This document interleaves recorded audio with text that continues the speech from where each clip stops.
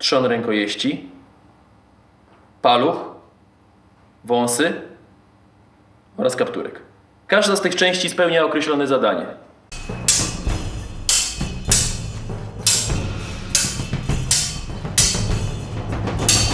Szabla ta uważana była za jedną z najlepszych szabel kawaleryjskich na świecie.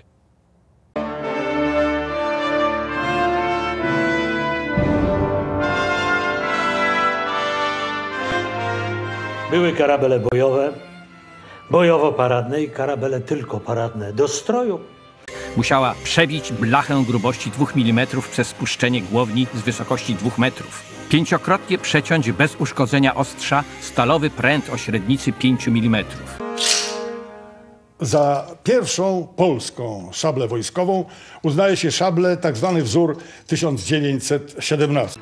W świadomości narodowej Polaków traktowana jest jako część kultury szlacheckiej i sarmackiej, jako spuścizna przodków.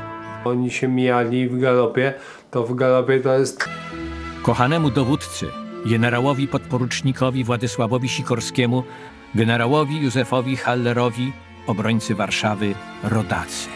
Szabla w literaturze polskiej i filmie odegrała niejednokrotnie główną rolę. musi być y, no, prawidłowo skonstruowana, bo inaczej się robi znowu nudne. Praca nóg jest fundamentem, podstawą.